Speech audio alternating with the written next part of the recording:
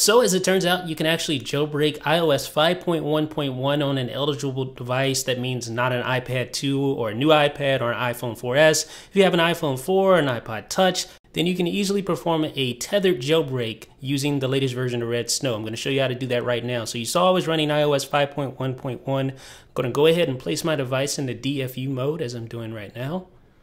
So let's give it a few seconds and we should be in DFU mode. If you don't know how to do that, then check out iDownloadBlog for the information. Now load up the latest version of Red Snow. You should see your device connected there. Go to Extras and then select IPSW. Now you want to point it to your iOS 5.1 firmware for that device, the 5.1 firmware because Red Snow hasn't been updated yet. You should see successfully identified.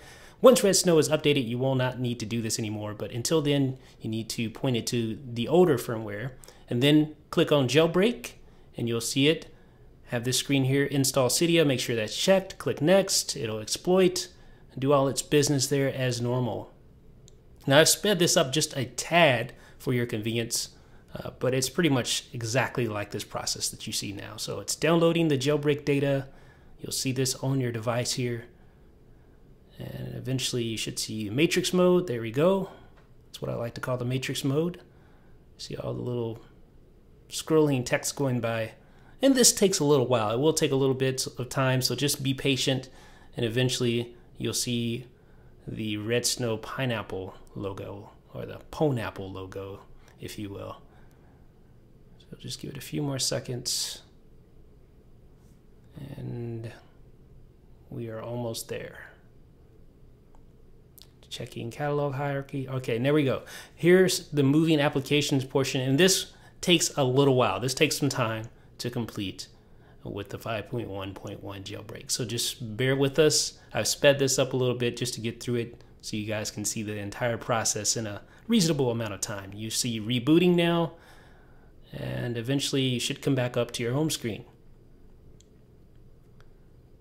Now, once you're back up to your home screen, you're going to see a Cydia icon, but it's going to be white because you need to perform a tethered boot. I'm going to show you right now. If you swipe over, there's a Cydia icon on iOS 5.1.1. So what we need to do is to put our device back into DFU mode so that we can perform a tethered boot in order to use Cydia.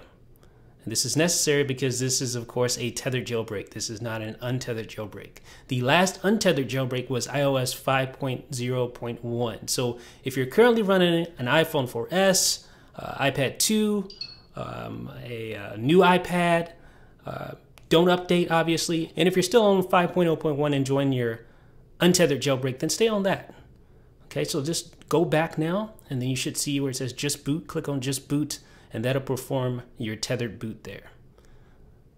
And this will go through, and we should be back up shortly. Now, as I was saying, if you're on iOS 5.0.1, say perhaps on an iPhone 4, and you're jailbroken, that is an untethered jailbreak, which means you can reboot your device at, you know, at your whim and you don't have to connect it to your computer. With this, with iOS 5.1 and above, you actually have to connect to a computer every time you reboot and perform a tethered boot, just like this. You'll see the little Pineapple logo there. So that's the disadvantage. And there really isn't much to this update. There are a few bug fixes, mainly for the uh, the new iPad with the um, cellular connection.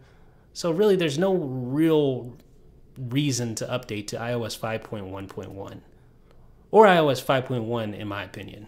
I would just stay on 5.0.1 if you're using that. Okay, so this should be up momentarily.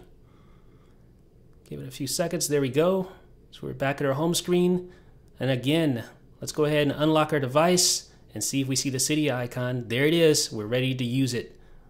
A jailbroken iOS 5.1.1 device right here, folks, in the flesh. So that's how you jailbreak iOS 5.1.1 with Red Snow 0.9.10 Beta 8B. Let me know what you guys think in the comment section. This is Jeff with iDownloadBlog.